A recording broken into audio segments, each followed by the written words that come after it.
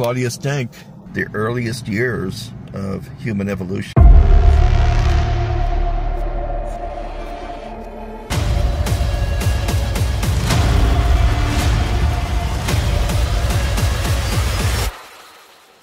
After the Indian subcontinent rocked its way into the bottom of Asia, pushing up the high relief uh, that's associated with the Himalayas, literally changing the climate cold in the winter months and warm in the summer months, producing a corresponding push and pull of the weather in the Indian Ocean. And this had widespread effects, especially in East Africa. And that main effect was to create very significant dry seasons that previously had existed but were not all that significant. As a result of this, the larger habitat, this great big giant rainforest, which was the climate beforehand, now we have a climate that, well, it has the same conditions of the rainforest for six months of the year. The other six months of the year, or sometimes longer, came these dry seasons. And these dry seasons were the seasons of death.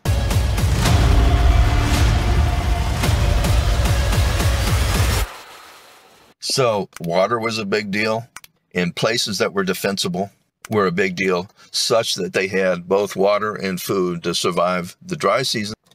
Let me describe one element of the reality that they lived under back then that unless you actually think it through, you're not really going to recognize its importance and that is in migrating species during the depths of the dry season and their effects on your resources. By I mean your resources, you're talking about the resources that are in your vicinity that you normally eat every day. That, hey, we have these trees over here. We're going to make sure no one else gets them. But suddenly every year, here come these migrating species. And what do they do?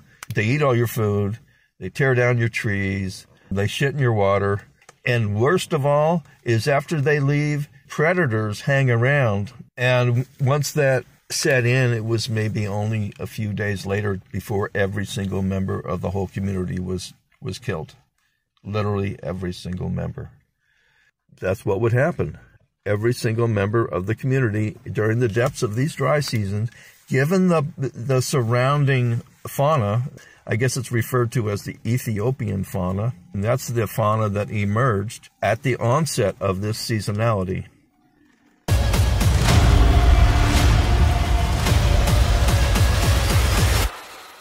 Well, these animals would have been the bane of our existence in the earliest years, especially during the dry season. Because the only chance a community had was to keep them from getting in in the first place. And that would require our earliest ancestors to gradually now, you know, as evolution proceeds, right? All these communities are getting wiped out. Well, there's going to be some variance where they're a little bit more cooperative than the other ones, and so therefore they're better able to recognize and come to help each other and increase the probability that they survive by way of the fact that they just dissuade, you know, you don't really even have to work that hard at it really at first because the these in migrating species, they're just going to travel to wherever they get the least resistance, right? They're not really going to be too worried about what exact place they go. Oh, there's all these pain in the ass chimps down there. I don't want to go that way, they'll go another way. And so, by way of just starting to be a, a nuisance to these other species, our hominid ancestors began, and by working together to do that too, because you know that's really what scares these animals. Our earliest ancestors began to um, establish themselves in this in this niche in the environment. We can also think of this behavior as being the earliest form of war in the sense that it would involve strategically taking positions, creating a line of opposition to prevent the onset of groups of other species, could even be predators, and collectively work together to create a deterrent so as that you can protect your habitat and your water supply.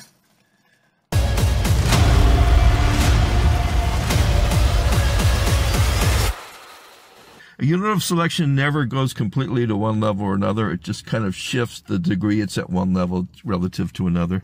And this is a situation where the, it shifted significantly to the level of the community And any community who had whatever behaviors were complementary to it not being uh, a victim of these predatory massacres. And you know, there's a, all number of capabilities that might be involved in this. Three categories. One is war, using weapons, trying to actually kill or hurt the enemy and to protect the territory. Number two is agriculture. You're keeping pests out. It's pest control, protecting resources. And the last one, and this is where I think it really kind of ties it together here, and that is fan based behaviors.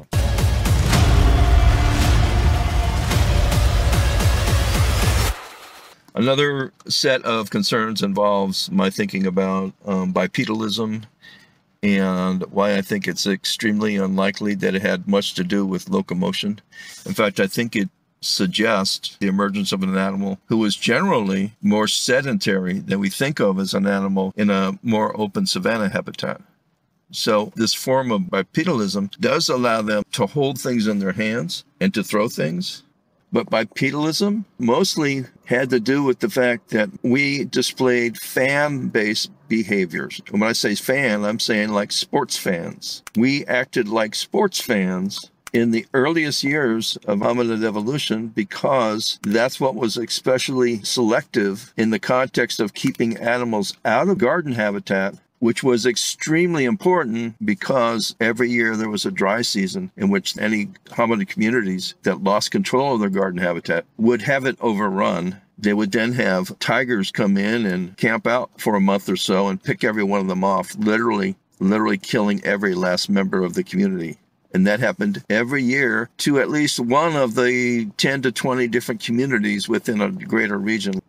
Throwing rocks, creating a ruckus, yelling collectively, getting excited, and, and uh, making a show of it. Doing your best to keep these animals out of your garden habitat.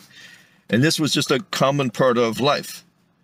Now, keep in mind, these communities are made up of hundreds or thousands of, of family units. So they could have tens of thousands of individuals, and each one of these, we can think of this as just a greater hominid population living in a, in a landscape, just like we do now. There must have been a compelling reason for the emergence of bipedalism, the shift in arm structure, and the shift in posture associated with the earliest years of hominid evolution. Now, keep in mind, this is when we still had curved phalanges and also feet with curved toes. We were still adapted to trees, but yet we see that we're also fully bipedal, which means that maybe the trees are only around for under emergency situations. Much of the time we were on the ground. You know, what would give you that huge selective difference when really the difference in their habitat was only different six months of the year? And they were still mostly dealing with the same animals and the same, you know, relative um, part of the ecosystem, the relative niche of the of the greater ecosystem. So, what would cause them to begin to evolve so rapidly in this particular direction? The answer, of course, is because we evolved from those who were able to best keep those animals out of our habitat.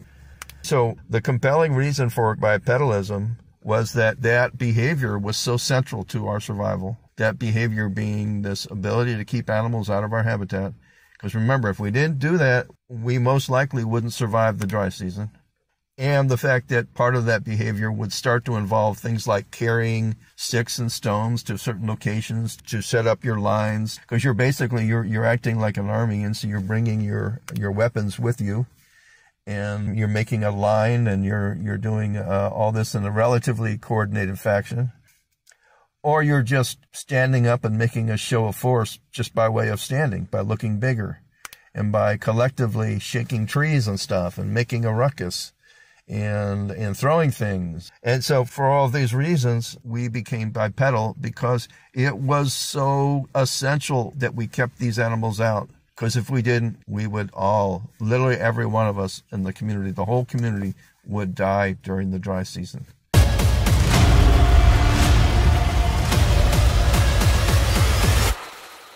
So it's very much tied to that shift in climate as a result of the appearance of this highly seasonal monsoon habitat. That's what they refer to that as, is monsoons, monsoon habitat. And so human evolution undoubtedly was a process that shifted selection that not only did an animal have to survive on the regular basis, now it had to survive on the basis of collectivizing together to fight against other species to keep them out of your habitat. But to do so, not originally having a rational understanding of that end at all. Instead, you're just caught in this cycle where you're you're constantly doing what you have to do to keep those animals out of your garden habitat. And that's the main thing about human evolution for the first million years.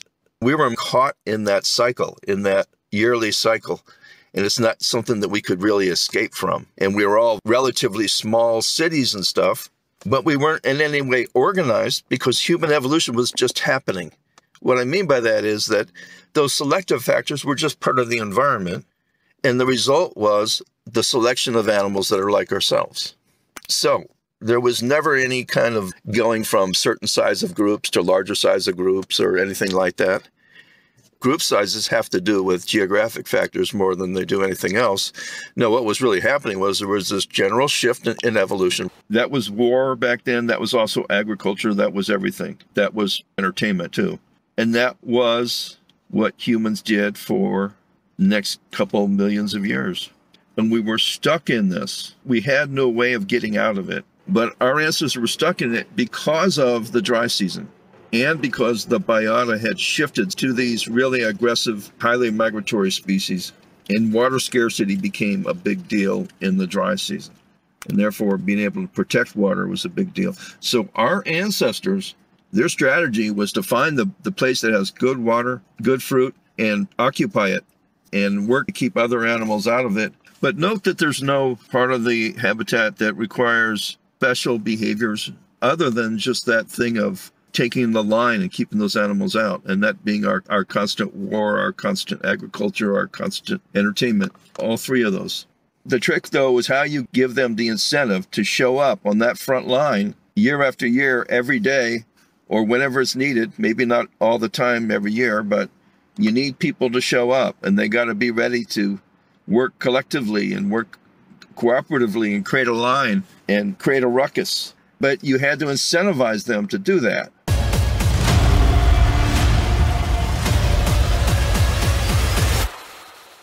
So it was essential to the origins of hominids for there to be civility, which I know sounds strange the reason why it's so necessary to maintain civility is to maintain the ability to keep the animals out of your habitat.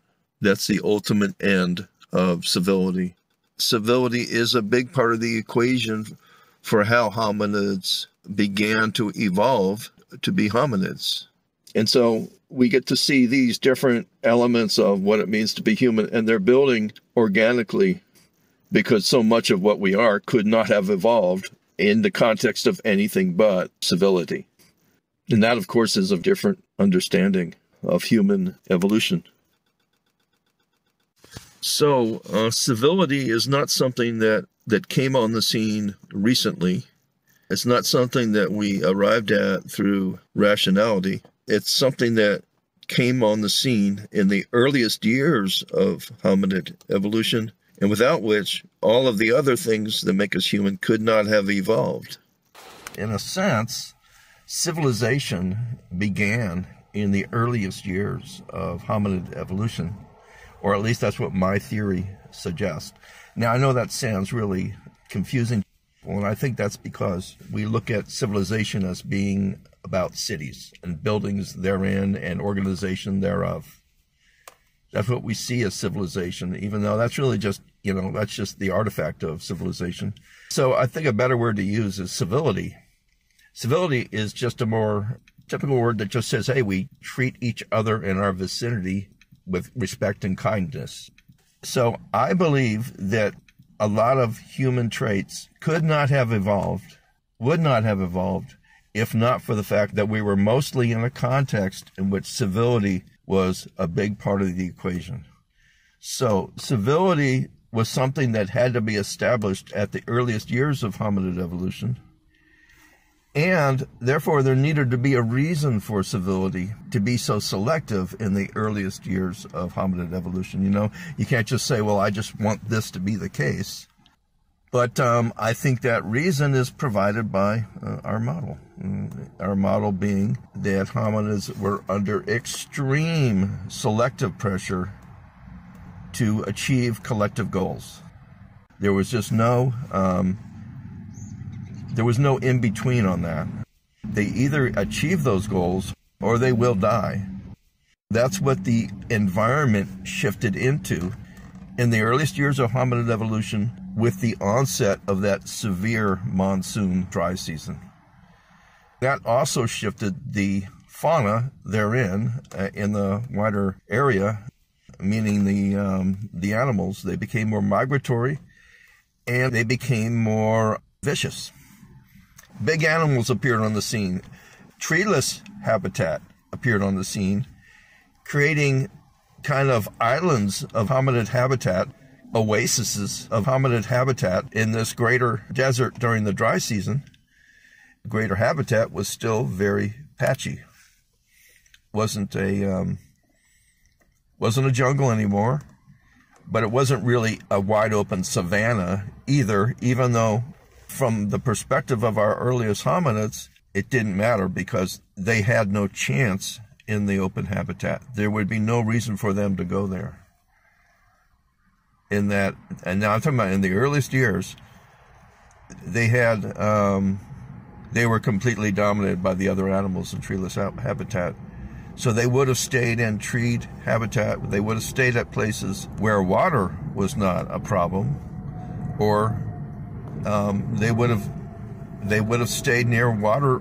They would have stayed near places that we would today we refer to as good real estate. You know, so if you want a definition of what that part of the land uh, looked like in the earliest years of hominid evolution, well, just look at what good real estate looks like now. it's, it's pretty straightforward. Now, uh, you know, according to my theory, as I think should be clear to everybody by now, if, if, if this is not clear, then you should go back and read what my theory is about. Every year they had to do something to keep those animals out of their habitat, and the most you know the most likely course thereof is to get everybody else involved in some way, and that would have to become kind of a general group behavior. And the only way for that to happen in reality is that they're getting along with each other. So the ability to get along with each other and the tendency to collectively fight other animals who are trying to get into your habitat and actually literally go to war against them to keep them out. These abilities would be very precisely selected in the earliest years of hominid evolution.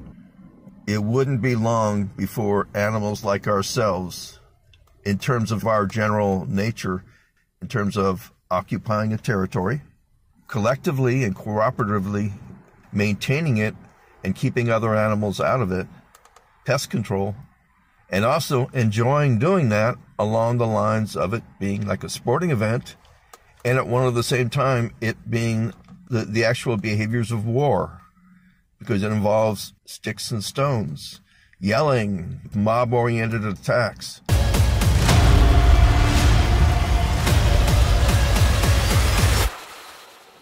So the behavior that's necessary for the earliest years of hominid evolution would have to be largely consistent with what our chimpanzee-like ancestors do instinctually already anyways. In other words, they're already even before in their jungle habitat before the emergence of this dry season, our chimpanzee-like ancestors were already territorial, already cooperating with their neighbors. They're already using sticks and stones.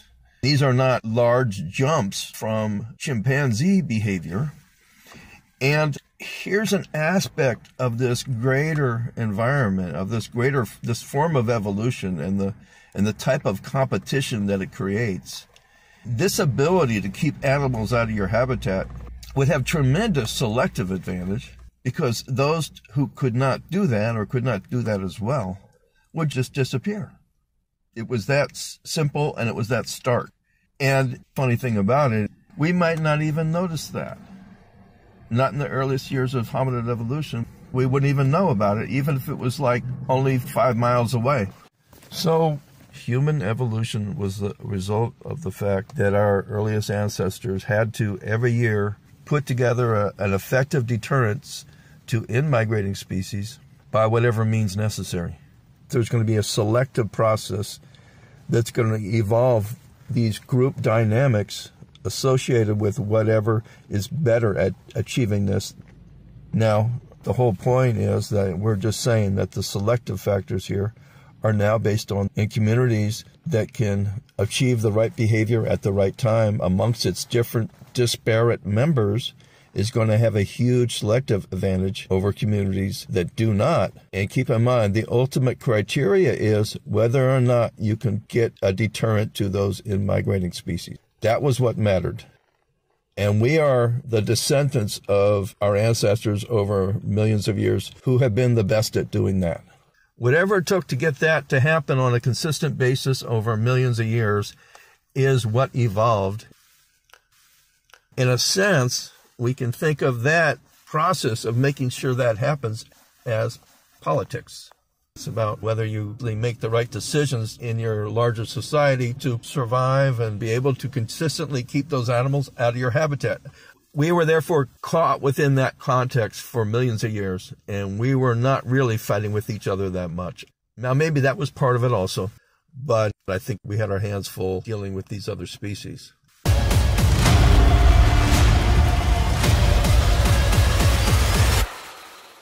A shift in habitat, environment, climate, or some combination thereof must explain the sudden onset of human evolution. In other words, there can't really be any other kind of internal mechanism. There has to be something externally, kind of like a law of evolution. can't just, oh, they suddenly figured out how to do this. You know, they suddenly figured out cooking. That's one that's really popular.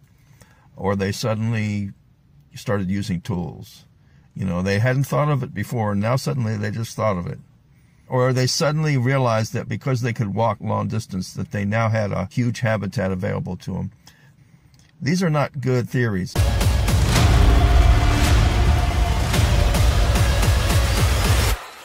There's a lot more questions here. Amongst the biggest of them is what is the origins of human intellect?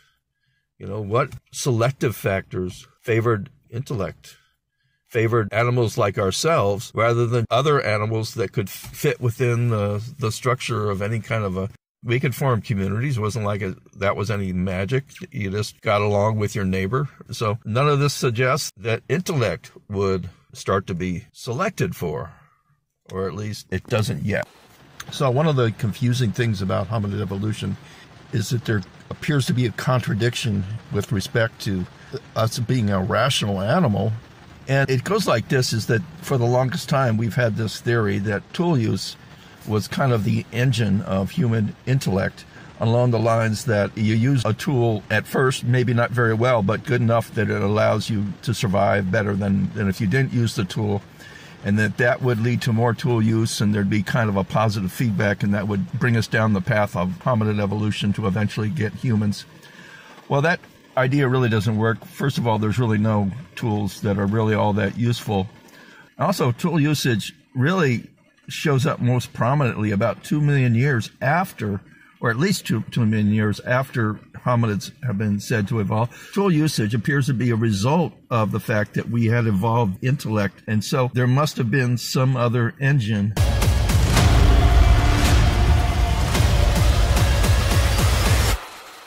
Before there was this incredible extinction event at the end of the Pleistocene.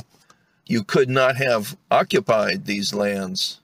That extinction of these large mammals is what allowed humans to expand onto locations like Mesopotamia and to actually achieve large cities and large cities that were well connected to each other economically. If you tried to do that in the Pleistocene, you would have been so completely overwhelmed with animals you wouldn't know what to do. About 10,000 to 12,000 years ago. Well, actually, it's the Younger Dryas event. That's the event that erased large mammals from our planet. Essentially, not all of them, of course, because we do see some survivors. But um, there's been some really incredible developments along these lines that it might be the sun that is the cause of the extinction that that began the Holocene, which is frightening because it suggests that the sun has this ability to just just suddenly act funny and put out all this energy that wipes life off our planet. So human evolution was mostly focused on the ability for a community to defend itself against other species and all of the things associated with, with making them better at doing that. Does that make sense? Probably not. Let me see if I can explain it a little bit better. Or maybe I can first of all just repeat it so it's clearer in my own mind. Human evolution is primarily focused on what is necessary to, create a deterrent from these in migrating uh, species during the dry season to thereby survive the dry season. And all of the things associated with making sure that happens year after year after year. If they don't show up on the front line, if they don't do the fan based behavior. If the whole community is not involved in this, especially when it's most needed, they won't be able to keep the animals out. They will not survive the dry season. Because once those animals come in, they destroy the food, they destroy the water, and uh, they bring in predators. And it becomes a killing field, and then they leave. The you know the migratory species leave, but the predators stay behind and they literally pick off the humans one by one. What behaviors would we think they would start to evolve to start to be relatively better than the other communities in their vicinity? Well, it comes down to whatever behaviors are necessary to create that deterrent, whatever is necessary to make sure that happens every year. So, us humans are the descendants of those who, over this course of millions of years, made the right decisions, or at least enough of us did to pass on our genes.